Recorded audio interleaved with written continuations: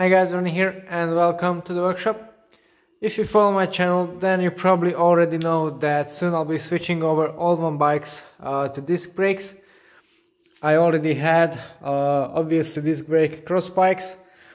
Uh, this year I got uh, in the spring disc brake road bike and soon I'll be getting my disc brake time trial bike as well and of course obviously my mountain bike is disc brake as well and using these brakes uh, is for me it's a bit of a revelation to be honest. But it presents uh, itself with a couple of unique challenges some of them related to through axles. So I've already mentioned my cross bike. If you remember my build uh, from last year then I enlisted the help of a small American company Robert Axle Project to get rid of the nasty clunky through axles with the levers uh, that come with the Boone as stock and well with other Trek frames like the Madone, the Domane uh, and the Émonda as well uh, for some nice lightweight bolt-on through axles.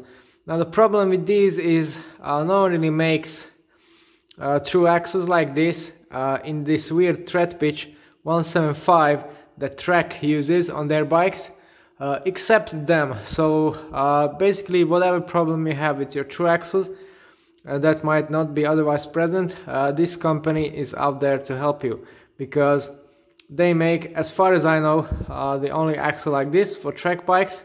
They make tons of others of these lightweight bolt-on through axles.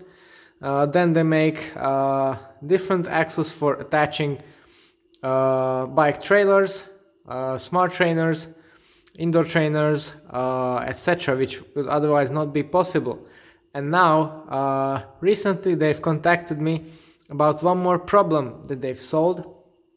And as far as I know, this kind of product hasn't been available as of yet uh, for thru-axle bikes, and it's very common for in-brake bikes. Let me introduce you uh, the Robert Axle Project Drive-Thru, which is essentially a dummy hub, not for quick release, but for true axles.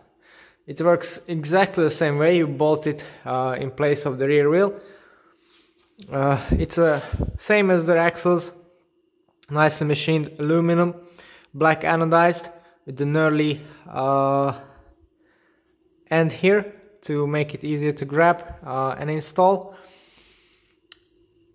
and there's a hard plastic roller uh, sliding on it.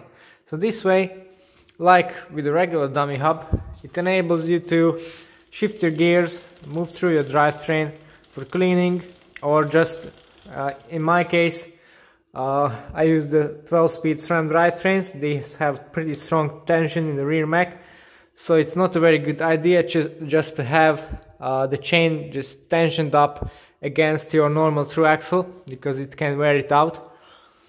I have to be careful in transporting the winch this way uh, and this bike too. So this also solves that uh, and all kinds of uh, maintenance, washing, uh, transport issues that well you can solve by removing the wheel and putting in a dummy hub. So works the same way. Very popular tool for in brakes. So just as handy uh, with disc brakes and through axles. Uh, the problem with through axles, I've already touched on that subject, is the fact that different manufacturers use different thread pitches. Uh, the 12 mil diameter for now uh, is more or less standard, so that's not an issue. But yeah, the thread pitch uh, can be a bit of a problem. But also, they have been thinking about this so, uh, if you like me that you have multiple bikes or uh, like I work on many many different bikes, I need to have all kinds of uh, thru-axles in, in ready uh, just to ensure compatibility.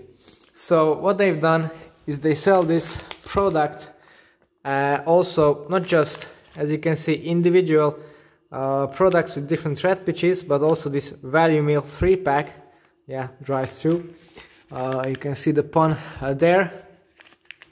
That includes all three common thread pitches. So uh, as I said it's 175 on the Trek bikes. Honestly I don't know any other bike that uses this at least not on the front. I think some Maxle axles use 175 uh, some bikes use that. Then we have a 1.0 for well as far as I know specialized bikes which I'm working on quite a lot. This is for specialized uh, and this is a 1.5 that's pretty common too. So yeah these three options you can get them individually if you have one bike or one brand of bikes uh, or you can have all of them. The key to this value pack is that on the end of this little axle you have an o-ring which you can remove and then the nylon wheel slides off easily. Then you change it put the o-ring on and it's back in the game as a different thread pitch. So this is how it works super simple very useful and very nicely made. Okay so this was my latest workshop upgrade bit of a compatibility and practicality issue solved if you want to know more about the products I use in my training and racing and also maintenance, then don't forget to tune into the channel and subscribe. It's all for today. Thanks for watching and see you next time.